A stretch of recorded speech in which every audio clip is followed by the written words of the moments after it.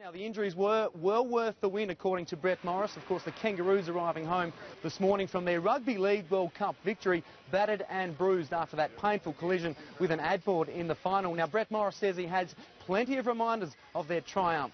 Look, I just got a pretty pretty badly corked hip, just nice big bruise on my butt, so uh, something that uh, will be there for a while, but um, you know, it's something I'll never forget, scoring a try on Old Trafford, and it's, uh, you know, I wouldn't change anything.